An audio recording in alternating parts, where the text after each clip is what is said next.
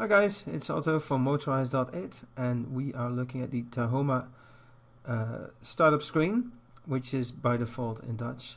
Um, if we want to change the settings and change it to English you go to the bottom section here where it says configuration. Click on it. Go to the top where it says account. And here in this section here you can change the language. And we are going to set it to English now there's no save button, so all you need to do is just go to a different screen and the language has been changed to English. Um, if you go to the dashboard, you can see everything's changed. Um, even products have their proper English name. As you can see, there's a roller shutter here. So quite straightforward. Again, go to configuration, account, and in the bottom section you can see the different languages.